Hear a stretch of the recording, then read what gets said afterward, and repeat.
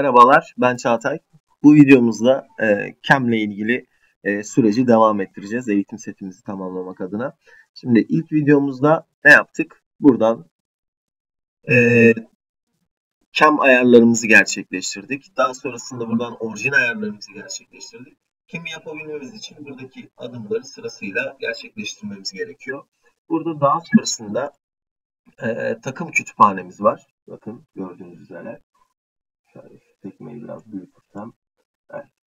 Burada karşımıza geliyor. Buraya e, yeni takımlar ekleyebiliyoruz. E, tezgahımızda bulunan ya da yeni aldığımız bir takım varsa onu buradan ekliyoruz. Aynı zamanda bu design menüsü burada, cam menüsü burada, cam kütüphanesi diyelim daha doğru olacaktır. Burada daha önce tanımladığımız takımlar var. E, biz eğitim e, isimli kütüphanemizin içine yeni e, takımlar tanımlayacağız. Şöyle yapabiliriz ya da yeni bir e, kütüphane oluşturmak istiyorsanız sağ klik edit deyip gelip buradan e, yeni kütüphanemizi oluşturabiliriz. Sağ klik yaptım e, takım kütüphanesinin üzerine New Library butonuna tıklıyorum. Yeni kütüphanemiz burada karşımıza geliyor. Bunun ismini isterseniz değiştirebilirsiniz. Sağ klik yaptım. Rename diyorum. İsmine şöyle diyelim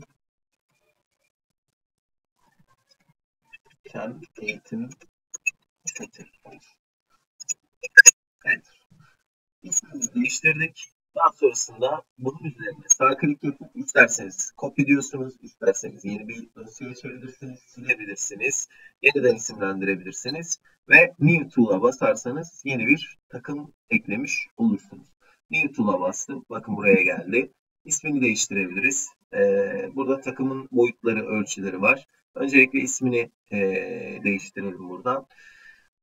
Ya da şöyle yapalım. Takım tipleri var bakın burada. Tool type. Burada ihtiyacınıza yönelik ya da e, tezgaha yüklemek istediğiniz takımlar ya da yeni aldığınız takımın e, tipini buradan seçiyorsunuz. Daha sonrasında ismini, çapını, boyunu, e, diğer özelliklerini giriyorsunuz. Şimdi burada e, şöyle bir kaba takım var e, roughing cutter şurada. Şekli böyle gördüğünüz üzere. Bir de e, onun dışında finishing cutter var. Bu düz, normal parmak freze. E, pek bir önem teşkil etmiyor ama kaba takımla işlem yapacaksanız, kaba takım tanımlayacaksanız ki e, kaba takımınız burada gördüğünüz şekilde ise e, olukları varsa bu şekilde e, bunu tanımlayabilirsiniz. Ya da e, düz parmak breze ise e, buradan finishing cutter'da seçip işleme tabi tutabilirsiniz. E, bu şekilde devam edelim. Genelde kaba işleri de e, bizim ülkemizde ya da genel olarak bu e, sektörde düz freze ile e, işleyebiliyoruz.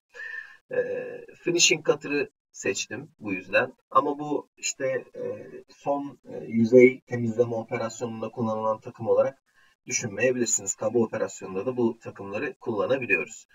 Çapını girelim. E, diyelim ki 14 milim olsun çapı. Yüksekliği 70 milim olsun. Kesici ağzı 40 milim olsun. Herhangi bir açısı olmasın. Düz. Bu şekilde 90 derece olsun takım. Ee, bunun dışında ismini buradan verebiliriz. 14 milim freze diyebilirsiniz. Bu tanımlamaları yapabiliriz. Şöyle de yapabiliriz isterseniz. Çap 14 milim de ekleyelim. Freze dedim. İsmini de verdik. Referansa buradan e, takım kütüphanenizde tezgahınızın özelliğine bağlı olarak bu referansı doldurabilirsiniz. Ne istiyorsa onu yazmanız gerekir. Kimi tezgahlarda, e, çoğu tezgahta farklı e, aslında bu referans. E, şöyle yazalım. T 01 olsun mesela burada. Kafa hangi kafada? 01, bir numaralı kafada. Takım numarası yine T01 olabilir ya da tezgahınıza göre farklı e, pardon 01 olabilir ya da tezgahınıza göre farklı bir değer isteyebilir. Korektöre yine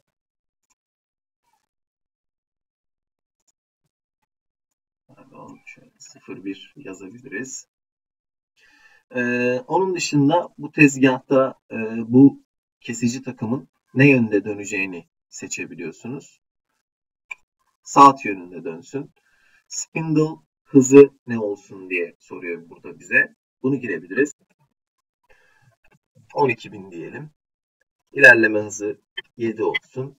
Kendisi bakın e, bu ilerleme hızı bu da dolu talaşa girdiği paso miktarı. Paso miktarındaki ilerleme hızı.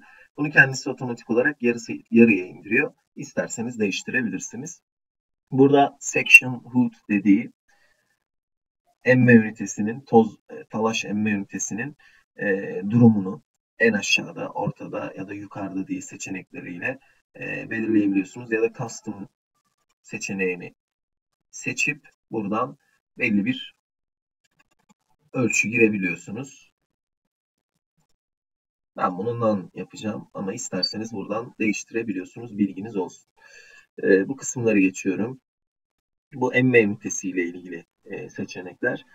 E, bunlar genelde makine üzerinden kontrol ediliyor.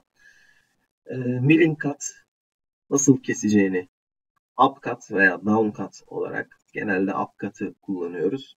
Dip cut maksimum. Bu e, bıçağın maksimum girebileceği talaş miktarını yazabiliyorsunuz buraya. Bunun üstünde talaşa sokmak isterseniz uyarı verecektir program size.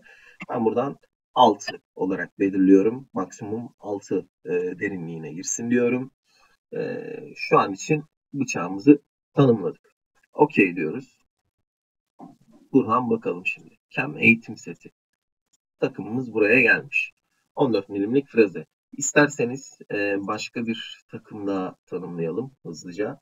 Eğer e, delik ünitesi delik ünitesi mevcut olarak e, bu işleme tezgahlarında bulunur mobilya sektöründe. E, ya da kafaya da delik tanımlayabilirsiniz, matkap tanımlayabilirsiniz. Onu da isterseniz hemen buradan matkabı da hızlıca tanımlayalım. Farklı bir takım tipi olarak. Buradan twist drill'i seçebiliyorsunuz. Ya da e, açılı matkap da seçebilirsiniz buradan. Twist drill ile biz devam edelim işlemimize. Düz matkap çapı 8 olsun. Ee, yüksekliği 70 olsun yine. Kesici ağzı da 40 olsun. Bu şekilde bir düz matkap tanımladık. Buna isim verelim. Çap 8 düz matkap ismini verdik. Ee, referansa isterseniz bunu yazabilirsiniz ya da takım numarası neyse onu yazabilirsiniz. T02 diyorum buna da. Kafa birinci kafadadır. Takım numarası 2'dir. Korektör de otomatik olarak kendini güncelledi bakın. Saat yönünde dönüyor. Ne kadar e, hızlı döneceğini 14.000 diyelim.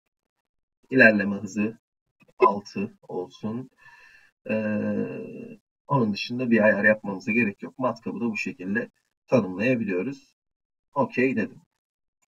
Şu an takım kütüphanemize iki tane takım tanımladık. Tezgahlarınızda ne kadar takım varsa onlarla ilgili tanımlamaları buradan yapmanız gerekiyor. Ee, eğer farklı tezgahlar varsa mesela bakın burada e, Rover BH için bu tanımlamaları yapmışım. Onun dışında başka bir e, tezgah varsa işte atıyorum AES, AES tezgahı içinde bu takımları tanımlamışım. Daha sonrasında da e, takım kütüphaneleri diye atıyorum frezeler, küre takımlar burada takım kütüphanemizde tanımlamışız. Bu tamamen sizin tercihinize ya da firmada kullandığınız e, tanımlamalara, standartınıza bağlı olarak yapabileceğiniz bir işlemdir. Peki, şimdi bu videoda tools dediğimiz yani takım kütüphanesini tanımladık. Daha sonrasındaki işlemlerde de burada bakın agrega kütüphanesi var. Çoklu delik ünitesi şöyle gösterecek olursam şöyle çoklu delik ünitelerimizi buradan tanımlayıp yönetebiliyoruz. Bunları da bir sonraki videoda nasıl tanımlarız, nasıl oluştururuz beraber göreceğiz. Bir sonraki videoda görüşmek üzere.